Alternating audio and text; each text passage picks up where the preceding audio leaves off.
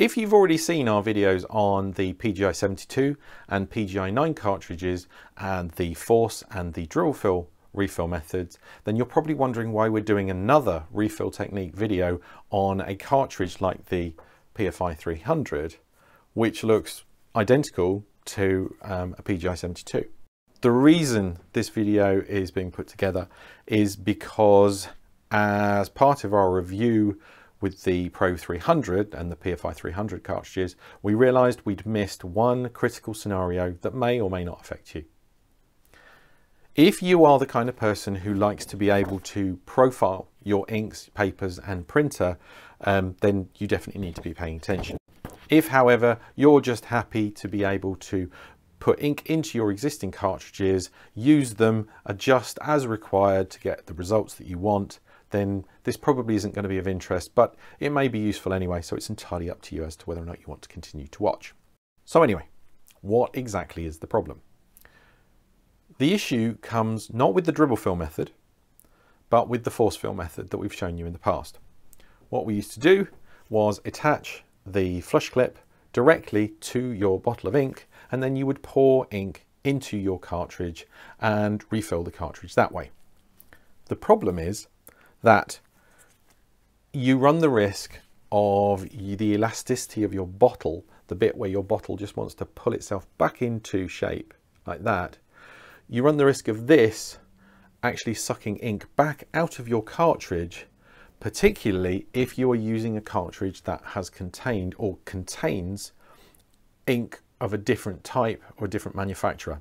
If that's the scenario, then you, you don't want to be uh, running with a cartridge that's partially full um, with OEM ink, for example, and then attach your bottle of ink direct to that start squeezing away and then kind of loosen your grip a bit and have the bottle suck a mix of this refill ink and the ink that was already in there back into the bottle.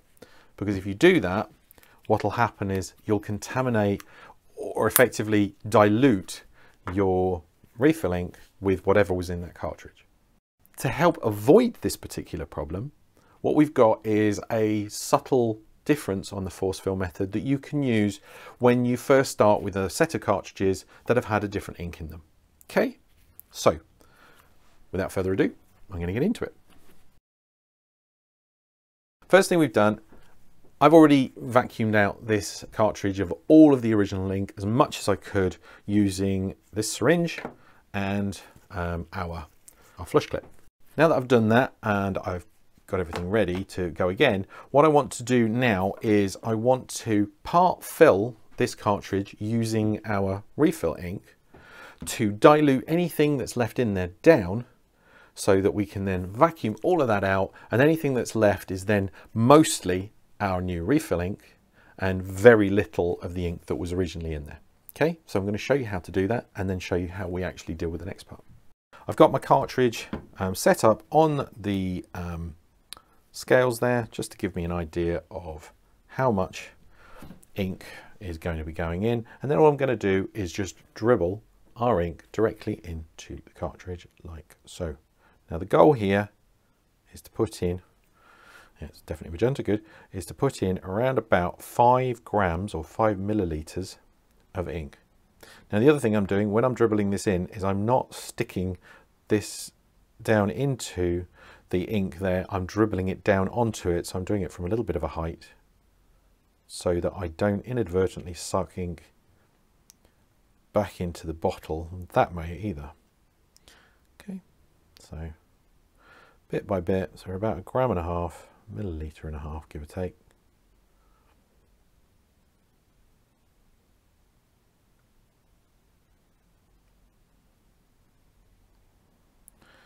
Two Goal is to put about five, five milliliters, five grams of ink into this cartridge and also sort of flush everything that's in the sponge near the outlet back into the cartridge. Nearly there, five grams coming up.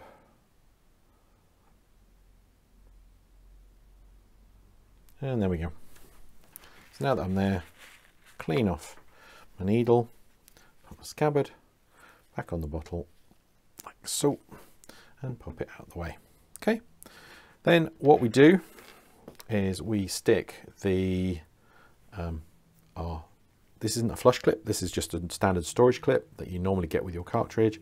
Stick that on, you then shake your cartridge for about a minute to try and mix the ink that you've just put in there with whatever was left in your cartridge to dilute it down as much as humanly possible. You'll notice I'm, I'm basically shaking it from side to side, end to end, and also front to back. Right, that should be about enough. So now that we've done that, we reattach our syringe to the flush clip, like so. Remove the storage clip from the cartridge and reattach our flush clip and syringe to the cartridge. Now, as you can probably guess, the next job is to suck all of that ink out of our cartridge like so. What I want to do is get a good amount of negative pressure and that will suck an ink foam out of there like so. And that gets most of the original ink that was in there and also the ink that we just pushed in so that anything that's left is diluted down to virtually nothing. Okay, there we go. Now, all of the stuff that we've now got in our syringe, that now needs to be dumped. Um, you're not going to be using it again because it's effectively a mix and then you wash out the syringe. While I'm doing the washing out, you don't leave your cartridge like this. You stick your storage clip like so over cartridge so that it doesn't dry out while you're getting things done or in case you forget. The reason for that is if you leave it to dry out, it'll become very, very difficult to refill in the future. Okay, so I'm just going to go give this a wash and I'll be right back. Right, syringe has now been washed out. What I'm going to do, taking it apart like this, I'm using a relatively lint-free kitchen towel to dry out the barrel of the syringe as much as possible. Just give it a general wipe down.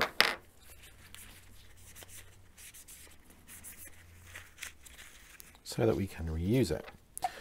As you can imagine, you can see there, it's slightly stained. Um, and that's because it's being used for all the magentas and the red.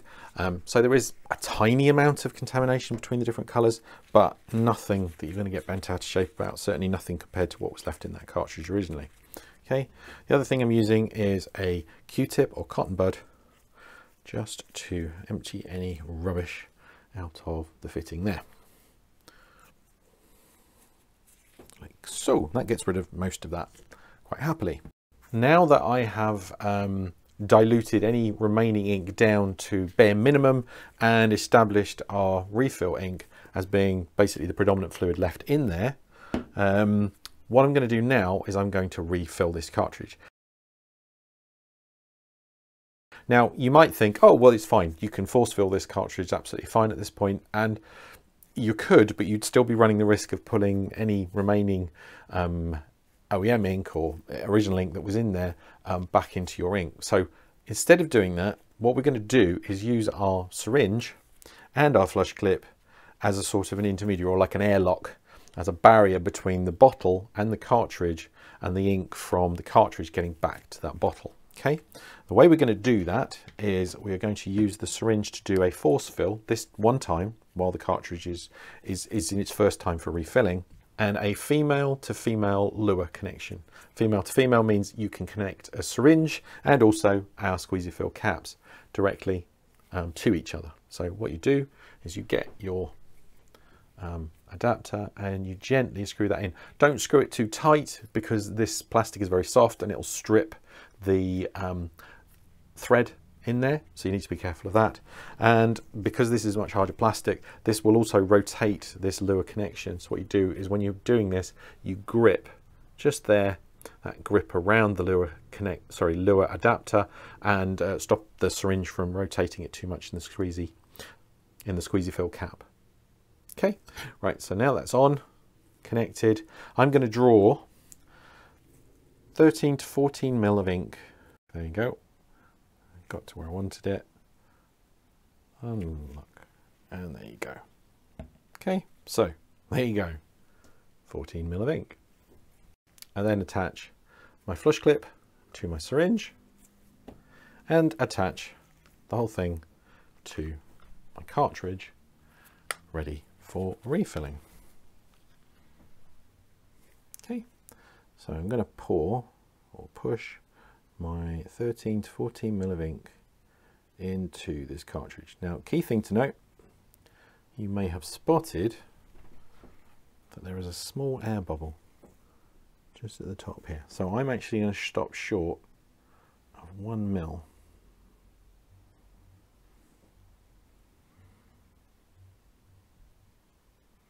So that I don't push foam into my cartridge. The other thing I'm doing is you'll notice I'm not angling for the camera. I'm actually holding this directly down. So around about there, that's as far as I want to go. Okay. I then pull the clip off, see the cartridge down, put that to one side for just one second, turn my scales on, so that's now zeroed out,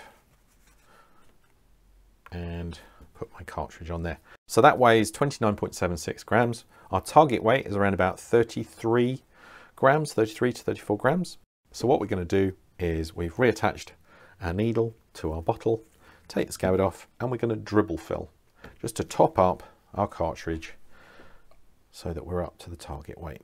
And again, we're going to run this all along the outlet sponge like so. And already up to 31 grams, nearly 32. And it's starting to slow down now. I think to be fair, I'll probably go as far as that. That'll do because that's now starting to um, slow right down, which indicates that it's, it's almost full. Okay, so I'm just going to tidy up a little bit, like so. Make sure there's no ink through, and then we cap our cartridge. Now, before we cap our cartridge, the thing the eagle-eyed amongst you may have noticed is this is potentially stained. If you're, you know, if you've been um, using this with OEM ink and you've refilled it, the first thing to do before you put this on is to actually wash this so that that staining, uh, any remaining ink that was on there is gone. Once I'm happy with that, I then use that to close the cartridge off and it's now ready to be used.